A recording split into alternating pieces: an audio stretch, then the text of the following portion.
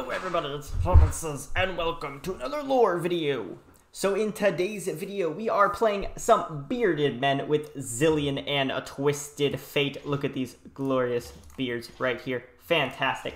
So, Zilean, Twisted Fate, why are we playing it? Well, it's really, really fun, actually. Like, I have so much fun playing this deck, but this is a deck that I workshopped a lot and you know a lot of things cut a lot of things added. Very very interesting and i think is a pretty good candidate for a fun deck right now. And i will say this the best mark my words quote me whatever bam quote the best zilean deck to date as of right now. There i said it. So with that outrageous statement being said let's go over the deck a little bit. So we got a two of, of warning shot for your early game no, it's not really game. I'm kidding you. Two of a warning shot to activate Monster Harpoon. Fantastic card. Absolutely fantastic card. Just, it's five damage. It's three mana, five damage. It's so good. It's so, so good. And with warning shots, it's just burst speed activation. It's great. Uh, they're also for our burst speed Riptide Rex activation. Very important. We got two of a Dunekeeper. Card's broken. It's good early game. That's it. Pool Shark. Playing Twist of Fate. Need draw. Stone Shape again, Shapestone, whatever. Great card, broken, playing it. Ancient Hourglass. So two of Ancient Hourglass. I really like this card. This is very, very good at keeping your Twisted Fate alive. That's mostly the target you want to use it on, or if like someone has some removal on a different unit, you can keep them alive with Ancient Hourglass as well for two mana. It is very, very good um, in this because it is very cheap and allows us to play a keep playing a lot of cards. Now, instead of Ancient Hourglass, I used to run two Rite of Negation. The problem with Rite of Negation was one, it cost four. Two, there's the side condition that needs to activate.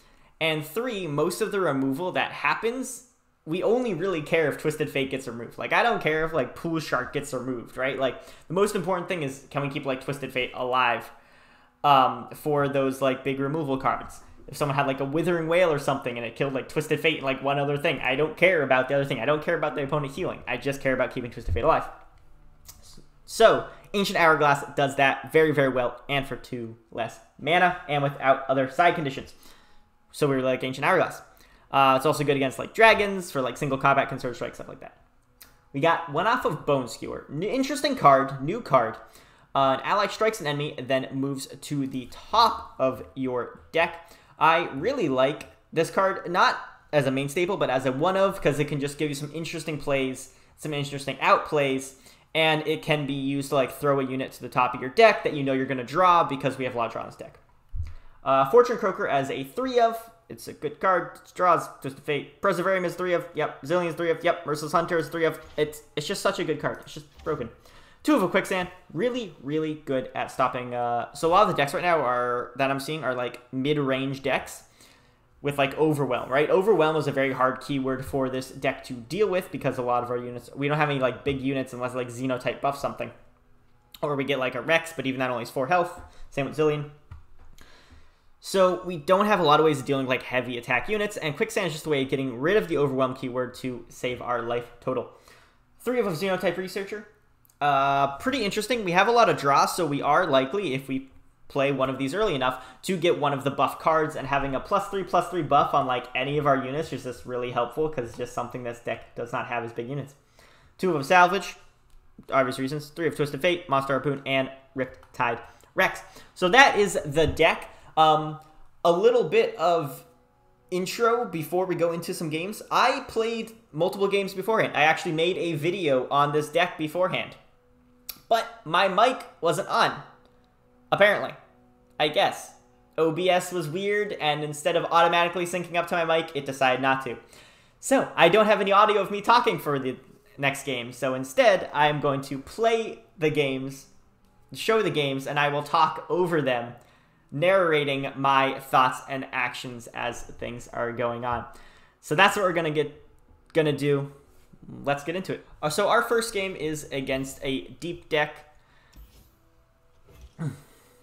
Uh, it's funny because like my my face right now talking is overlapping my other face talking. You can see like there's a there's a small little like overlap in the corner, which is kind of amusing.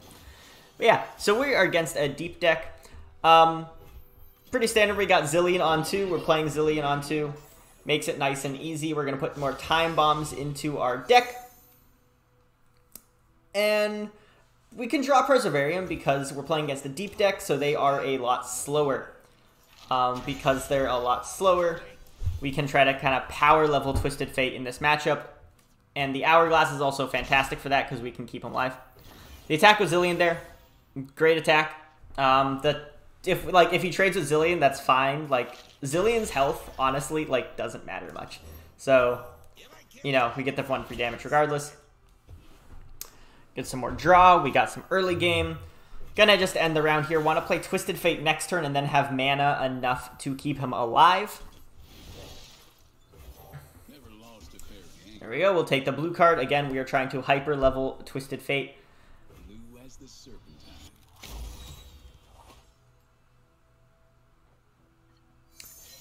Picking up a salvage from that. My mouse is moving everywhere because I am talking a lot. Not me right now but like my my mouse of me playing the game. This is so this is so weird. I'm looking at myself in a mirror, guys. This is very strange.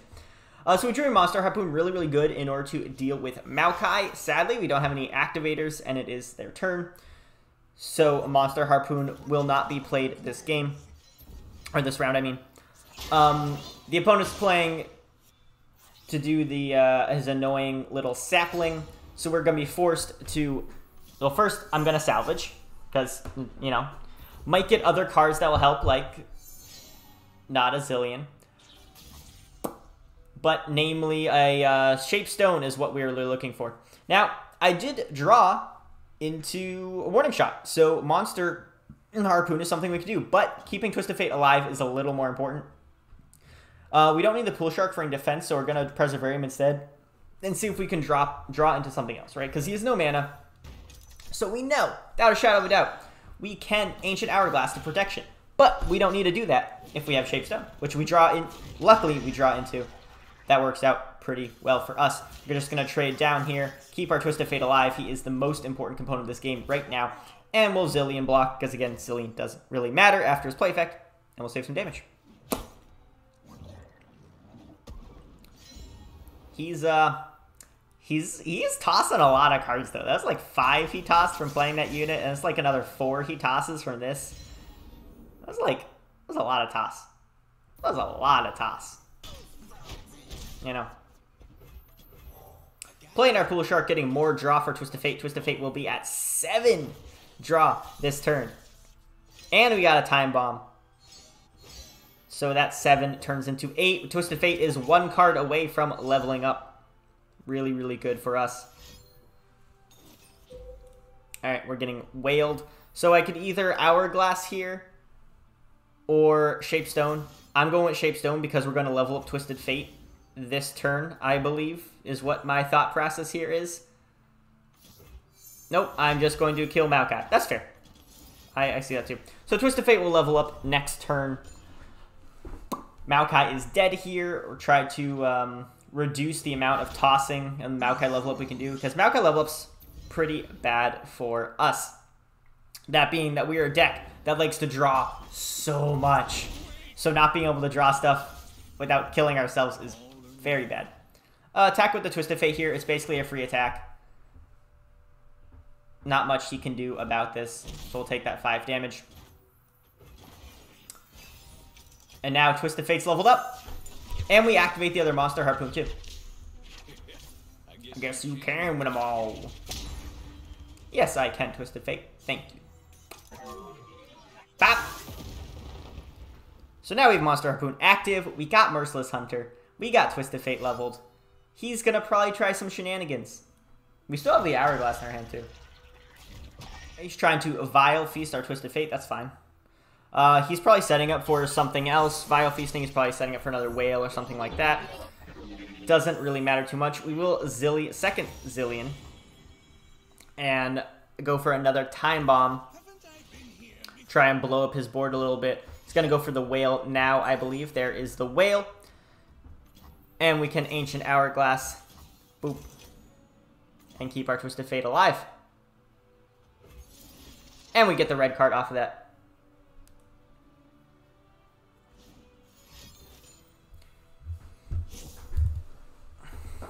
So now he goes for a Jettison. I'm sorry also if I'm not talking into the camera. because the way my setup works, I have to play this the video on my second screen. And yes, a lot of stuff's happening in the game right now. I'm not addressing it. Uh, so we red carded. Red card does kill two of his units. But since he jettisoned and he's tossing two, his sea monster is still active. I'm hovering around that Withering Wail a lot because I'm, uh, I'm just pointing out. This is the part where, like I said in the intro, that Ancient Hourglass is better because we don't care if other stuff happens. Like that 3 health from Wail doesn't matter. Didn't matter at all. The our one mana our uh, little dude dying from Wail also didn't matter. Our Zilean taking damage didn't didn't matter. So we could Monster Harpoon this, but it's really not worth it. It's a 5-4 that's going to keep tossing stuff. Doesn't really matter. Uh, something to note, though, is that we are unfortunately at a health of 13 mana, which is not uh, Nautilus Atrocity range. So that could be worrisome, but definitely not worrying about it in this game. Other things to worry about. And here's something really, really interesting, which I had no idea of. Gonna play the Riptide Rex here, first of all, because it's just great starting card, kills this thing. Twisted Fate plays a gold card here, which is really interesting. So, I did not know that um, Ancient Hourglass doesn't reset Twisted Fate's, like, effect. Which is so if you Ancient Hourglass Twisted Fate and he still has cards left, he'll play those cards. If he doesn't have cards left to play, he won't play any. It's just something interesting to note. Uh, this is pretty bad for us. We got Maokai Milled. So this is awkward. It'll be a lot of thought process here going with. Um, so I'm hovering over Bone Skewer right now. The reason that is, is because we have like four cards in our deck. And most of the cards in our deck are draw cards, right? But with Bone Skewer, we can put Zilean back into our deck. We get the we get the Zilean draw, so we get one more card, and then we fill up. Zilean pops in. We get four time bombs. So even if time bombs draw, we effectively get a, like more turns we can stall out for. You know, effectively like two more turns, considering time bombs will end up drawing uh, whenever we play one. But we do effectively get more turns to stall. So that is really nice. Our Twist of Fate's going to die. Um, we can't risk going with the uh, salvage right now because that is, is literally our entire deck pool. So not only worth it to keep Twist of Fate, he's also would end up drawing us to death, so it's definitely not worth it to keep him. But Zilean coming in clutch. The the Bone Skewer on the Zilean really, really coming in clutch. Uh, Preservarium, absolutely terrible card to have. Not gonna lie, like, absolutely terrible card to have in the bottom four of your deck with this.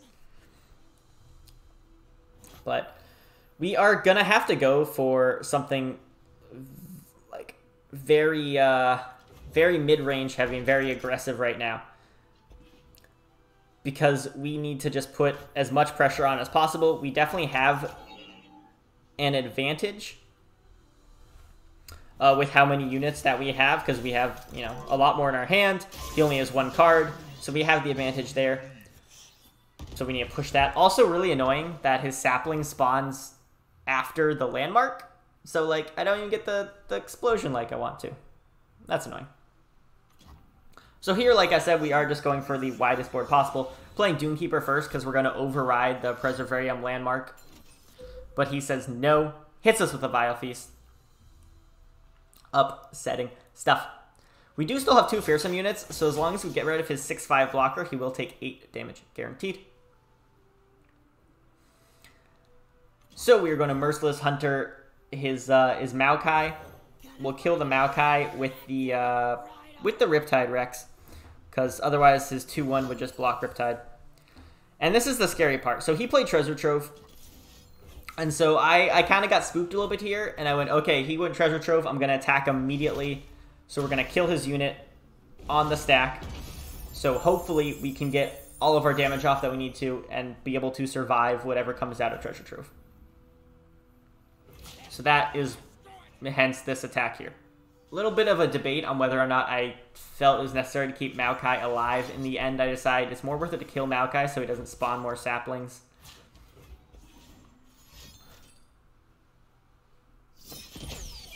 yeah, our opponent got a Spell Thief. Super, super annoying.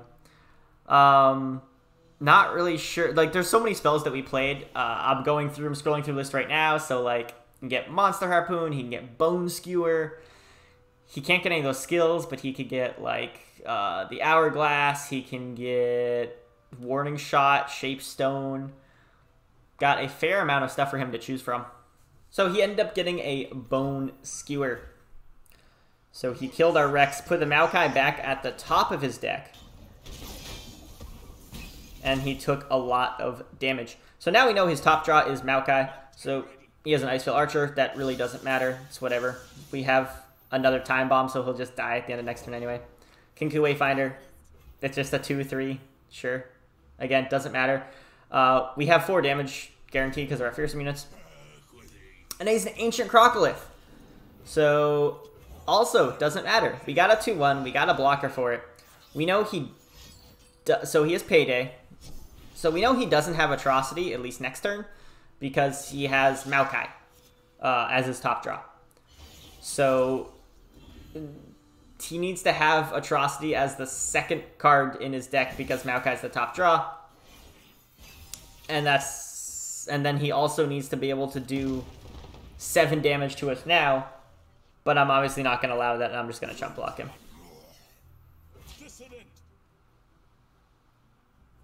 Just kidding. I'm not going to chump block him. Because I think the odds of him having Atrocity is so, so little that I'm willing to play around it so I can get a guaranteed lethal on the open attack. That is exactly what I'm going for. A little ballsy, a little risky. Uh, but it's also risky that we have three cards left in our deck. Now we have two cards left in our deck. He's got a Maokai. I got a Xenotype Researcher. Now, amusingly about this, Xenotype Researcher, she hits, we win. He only has 3 health because next turn, and our opponent surrendered because they realized... I mean, again, I would have stayed for one more turn because if he ended up drawing Atrocity, he would kill us. But he did not want to. Zilean TF playing out very, very well, as you can see. Really like uh, how this deck plays. Very versatile, a lot of different options to go with. Um, we leveled up Twisted Fate, but that the Twisted Fate level didn't even do very much for us at all. It was mostly the fact that we had a lot of mid-range pressure that allowed us to win that game. And a lot of constant draw, being able to refill our hand and options. Okay, so the next game is going to be against Draven Ezreal. Now, uh, a small problem with Draven Ezreal is that it's really good at killing Twisted Fate. So we almost can't really play for the Twisted Fate win condition because we're uh, there's there's so many ways that they can kill Fate, being at only has two health, that we're just we're probably not going to level Fate. So we have to play uh, for a little more aggressive style. And that is why I'm starting out with Dunekeeper. We're going to start getting 4 damage on him right away you know, we do have a fair amount of things to do little bits of damage. Like warning shots, we have our finisher with Rex. So we might actually be able to kill him if we go more aggressively if he doesn't have answers. Playing Zilean. It's on curve. Why not? Get some time bombs. Sure, sure, sure. And I hear I have a, a choice between Xenotype Researchers or Merciless Hunter. I'm going Merciless Hunter because if he plays like Draven or if he plays Ezreal or something like that on curve, I want to have Merciless Hunters to kill that. And that's also why we're starting with the attack as opposed to summoning Merciless Hunters first. Is because I want to play Merciless Hunters reactively to what he plays so I can get that vulnerable on an important unit. So he's going to Static Shock, which I think is a waste of mana already I guess if he doesn't have much in his hand, but it just, it's 4 mana to like kill, what, a 2-1 and damage Zilean by 1? So I'm playing a Shape Stone just to basically annoy him, make his spell even more worthless. And then he's going to Mystic Shot, which is so good for me. Because then he doesn't have Mystic Shot to use on Twisted Fate. Because he used it to kill a, like, a little dude anyway. I will Preservarium for some more draw. Boop, which we got. I think the Preservarium for draw was a little bit of a mistake there. I actually would have preferred keeping the extra mana so I could uh, Hourglass. So I'm playing Twisted Fate. I'm debating playing Twisted Fate. But I, I am going to play Twisted Fate here um, because I don't really have another play because he's passing. I don't really want to play my uh, my rider yet without him playing anything without with losing the vulnerable. So I'm just playing Twisted Fate to draw and get some more value out of him. Uh, I'm fully anticipating that he will be able to kill Twisted Fate here, which is again why I should have saved mana for Hourglass. And there's the Get Excited. So he burned a Sump Treasure uh, to play that Get Excited, so that's pretty good for us. And now we have a Xenotype Researchers. And we got our Riptide Rex, which I said we can use for endgame. And Quicksand is really, really nice against Draven and Ezreal as well. Um, can trade into our... Uh, what am I saying? Our researchers.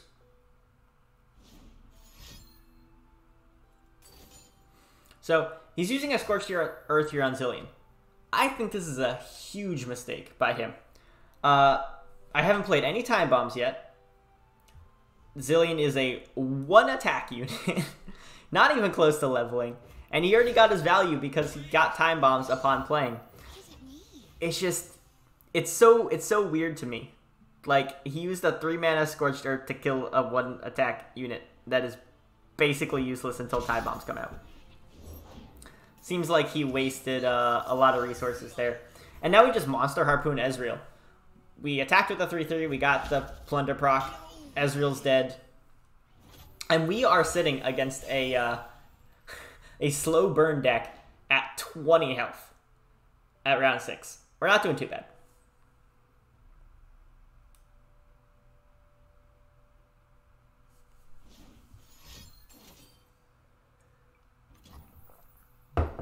He's going to try and kill my unit. Uh, I'm just going to Ancient Hourglass here to get more 3-3 buffs into our deck. And might as well keep our 3-3 alive anyway, you know? Why not?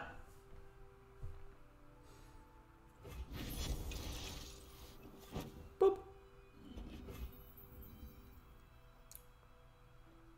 At this point, I'm thinking I could salvage, I'll just save the mana to use it for next turn. Uh, we do end up burning one mana, but it doesn't really matter too much. And now we get our, uh, our Xenotype back, Fortune Croaker, trying to draw into something with a lot of buffs. Unfortunately, just get a Shapestone. Now, I really want something... So we played two Xenotypes so far, right? So there's six units in our deck, or, you know, some units in our deck that are very buffed. So drawing more cards, trying to get a buffed unit. Sadly, we're still not getting any. Um, so seeing that we didn't get any buffed units, just attacking, doing five damage, which puts him at a little bit precarious position. Because next turn we do have Warning Shot into Riptide Rex, and that's uh that's a pretty good amount of damage. He's going with the big boy Tri-Beam Improbulator here. Gets a Legion General, which is uh, honestly pretty sucky for him. And I'm to Preservarium, because I want big units. I didn't get any big units. Well, I guess I'll Time Bomb. And this Time Bomb um, allows me to activate Riptide Rex without the use of a Warning Shot. So there you go. We got Synergy. We got Time Bomb. We got Rex Synergy. We got a, a dead a dead frog. And now Zezor's upgraded. Hmm. This is a point where it's it's starting to get a little scary for us. Uh, with an upgrade Ezreal, he can do a lot of damage. Thankfully, he only has two cards left in his hand. So if he had more cards, this would be a lot more intimidating. I am worried that one of the cards is Captain Farron. So we could, like, attack here and then pop a Farron. The thing is, I'm just gonna Rex, and Ezreal's definitely gonna die. As you can see, Ezreal dies. So, if he has Farron in his hand, he can either play Farron here, but not use Ezreal's spell, not use any of Ezreal's potential damage, and play Farron. At which point we will definitely win because we have a vulnerable thing that can make him vulnerable next turn. And we have three damage in our hand, and I think we only need like one more damage outside of that. So if we draw like a second time bomb, we just win. But he's choosing right now uh, to go for just as much Ezreal damage as possible. He's going to play a Mystic Shot on the Rex and something else after. So he's Mystic Shotting Rex and he's Static Shocking. So he's getting 5 damage uh, on our Nexus from combination of things with Ezreal. So, pretty good damage-wise, but, I mean, his board's dead. I still have a 6-attack unit. He probably has a way to deal with it, so I don't have a 6-attack unit punching him in the face. Yeah, so he is a robot. Doesn't really matter.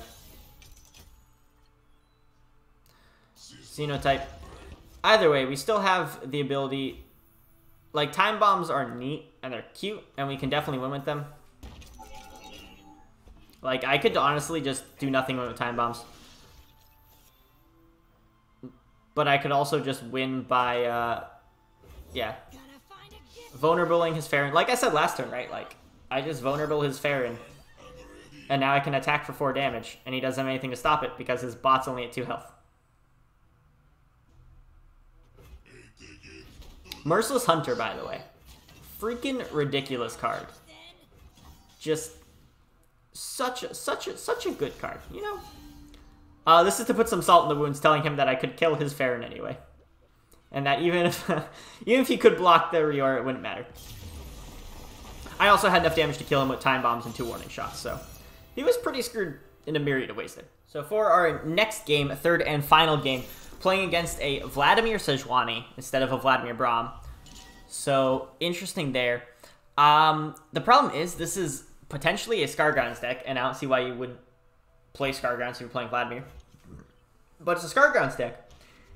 And this deck has a lot of like one damage pings, right? We got things like Time Bombs and Twisted Fate's red cards, and even Riptide Rex is like two damage that turns into one damage pings. So my mindset going into this is if they play Scargrounds, I pretty much just surrender. Like there's there's almost no way that I can deal with the board with Scargrounds. Um, Monster Hunt, Monster Harpoon is definitely a help to that. But you know, if things get once things get going, Scargrounds is a little difficult. That being said, he didn't Scargrounds. He just has a bunch of weakish units.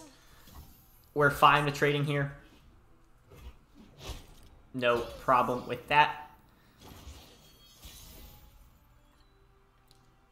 And here's an awkward play. We could Xenotype Researchers, but he has 4 mana, and I'm thinking he's going to play something for 4 mana. He's going to play some kind of big card. Probably with 4 to 5 health. So, even though it's not really ideal to red card, because I'm feeding Vladimir's level up, I'm doing 1 damage to myself, he plays a card with 5 health, and so I can Monster Harpoon. And now if he has any health buffs, he would play them here. He has no health buffs, because he definitely would have kept that card alive. So now I'm actually free to attack with Twisted Fate, because I know from that play he has no health buffs.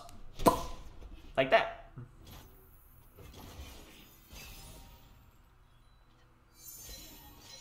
I'm, I'm just mousing over, telling you guys that, hey, I shot him. He's dead. Pew pew. Got him. Uh, taking this damage here, don't really want to trade our Twisted Fate. If we don't have to. Play a Xenotype. I'm This Avalanche, I also think, is really awkward. Because he kills two of his units just to kill my Twisted Fate. And, like, that's fine.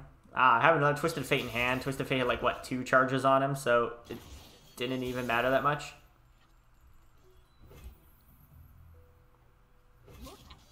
I'm attacking to activate Monster Harpoon without using a warning shot. That's the reason. And I see he plays Scar Mother, so I'm just going to go for a blue card. No need to uh, Monster Harpoon right now. We can just use Warning Shot next turn if we really want a Monster Harpoon. It was more so just to give myself the option of doing so if you're to play something else. Uh, can go for a Salvage. Don't really have much else to do. We did burn one of our big units, but we end up drawing a big Xenotype Researchers. Very nice. can use that as a very effective blocker against his uh, Overwhelm Stick. She summons a second Overwhelm Stick, so we'll play our 6-6. Our 6-6 for 3 mana, not too bad. So this attack is looking pretty decent for us. He's probably going to have an Ice Shard. I, I, mean, I already know it's an Ice Shard, but in this case, it's it's pretty safe to consider uh, assume that he has an Ice Shard, which I'm looking at it and I'm taking 8, a lot of damage.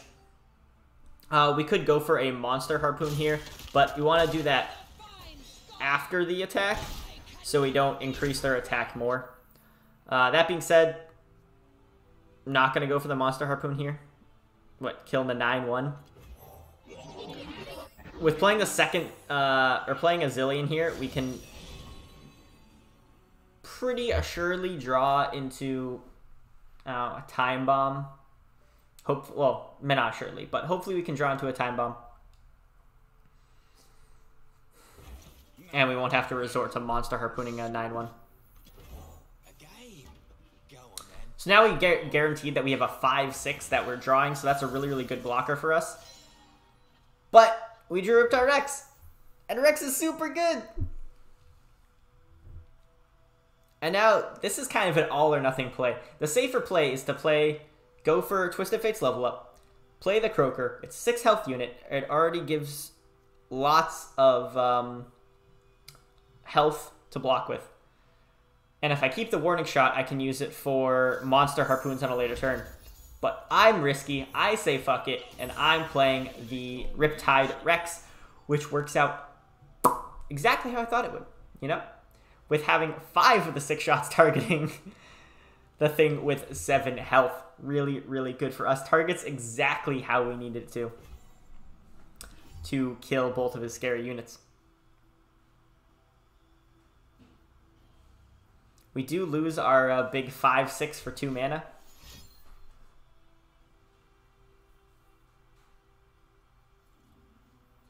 Yeah.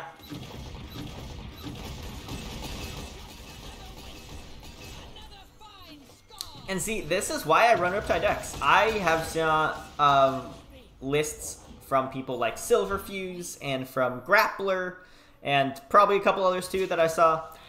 Um, and they none of them ran Riptide Rex, and I think that's a mistake. Riptide is really easy to activate in this deck, and it's a very powerful effect um, for removing bigger units that this deck only has in the likes of Monster Monster Harpoon.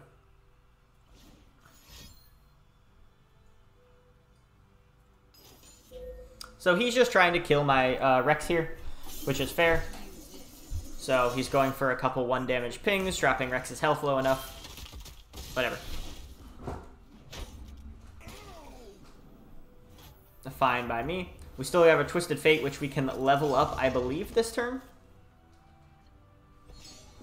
Think he's at he's at seven, so we literally just level him up by salvaging. It's pretty nice.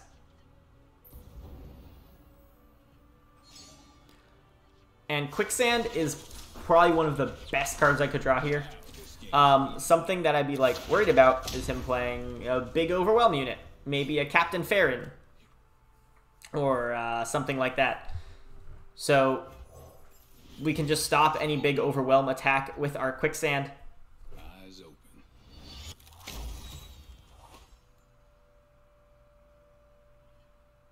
We're drawing lots of time bombs. Normally, I'd love to play these time bombs, but again, I want to keep the quicksand just in case. I don't know what he's doing with all that mana. We definitely have the board, and we... Riptide Rex just going straight for damage. I am going to attack first instead of doing the Rex first. And that's to basically just guarantee that damage. Uh, so we can Rex here and then Time Bomb.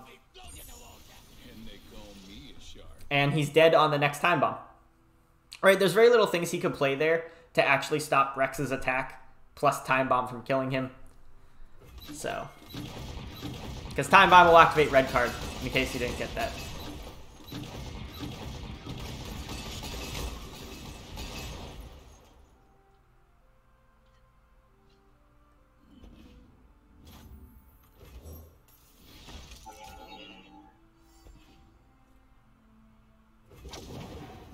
And then we got the red card.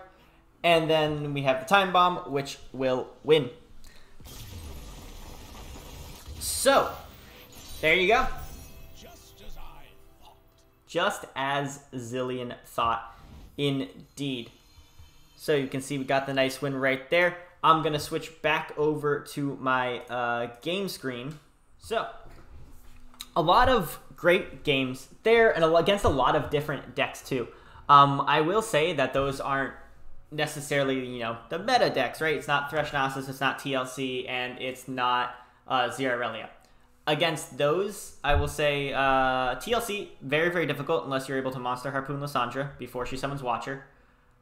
It's super, super hard matchup. Would not recommend. Uh, Azirelia, I have not as bad, honestly, as I thought. I have about a 45% win rate against it, which isn't great. But it means that if I try to climb with this deck, I don't auto lose against a Azirelia, which is important, right? It's There's a chance that I beat it, and that's good. And against Thresh Nasus, honestly, haven't played against any Thresh Nasus. Don't really know. Uh, if I play against more Thresh Nasus, I'll probably put in Rite of Negation so I can stop Atrocity, but as I've played against none of them so far, doesn't seem like I need it. All that being said, with the games, um, one thing, let me know if you like me narrating over my own gameplay. Not that I'm going to do this often because it's like double the time that it should have taken to record a video because I had to record it and then narrate. But I know. Let me know if you like me narrating over games. Maybe I'll try to find some other games. Maybe I'll, if you guys want me to narrate over your games, I'll set up something you can send me some games and then I can narrate over them if you like that. Or if you don't, I'll just keep making my videos my normal way. I'll end up doing videos my normal way regardless. I'm going to stop rambling.